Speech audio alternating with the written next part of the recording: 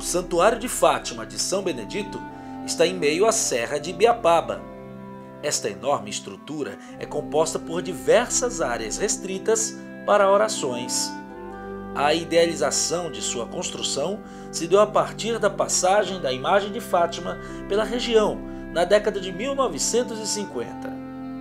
O santuário é um dos maiores centros de romaria do Nordeste. São muitos os visitantes e romarias que se deslocam para cá em momentos de pura devoção.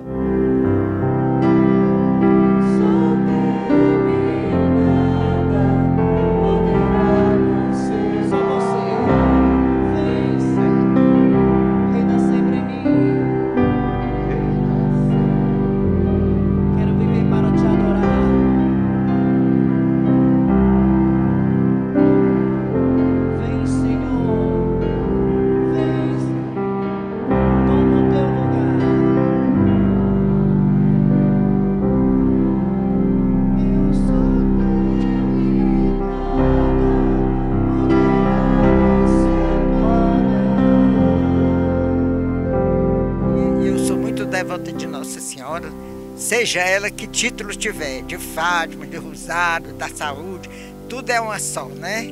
Então, eu me sinto muito bem quando eu faço uma visita no altar de Nossa Senhora. E é por essa razão que eu vim até aqui, porque ela está de passagem em Ubajara, ela mora mais em Fortaleza, e eu aí em Ubajara.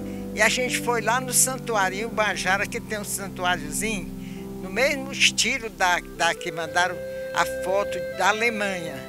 E foi por esse motivo que eu vim até aqui ver Nossa Senhora, porque a gente sente muita paz, né? E nós precisamos muita de paz, né? De um Brasil melhor que está entregue só mesmo aos corruptos. Ah, eu acho assim que hoje em dia a maior parte das pessoas elas não se ligam assim. As pessoas elas gostam muito de o quê? Ah, vão para um show, vão para o pagode, vão para o forró, vão para o cinema, vão para uma praia e elas nunca têm tempo para dedicar aí aquele local que é como eu estou falando. Você pode ter qualquer santo de sua devoção ou Jesus na sua casa, no seu interior, mas é tão bom você vir visitar, você ir via um espaço desse que é dedicado a ela, né, no caso, a, é um santuário. Então eu acho muito importante isso, você ter um tempo e não só se lembrar quando está na necessidade.